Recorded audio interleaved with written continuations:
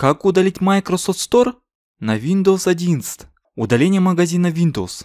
С правой стороны внизу у нас присутствует Microsoft Store. Также в меню «Пуск» присутствует Microsoft Store. Для удаления вам нужно открыть терминал Windows. Открываем правой клавишей на меню «Пуск» в панели задач.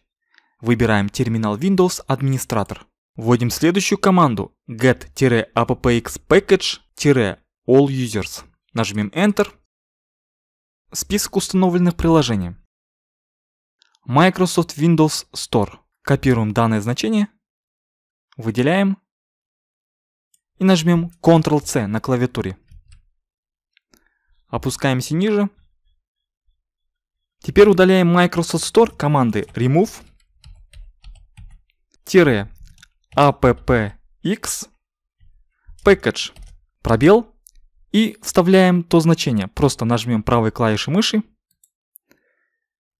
и нажмем Enter.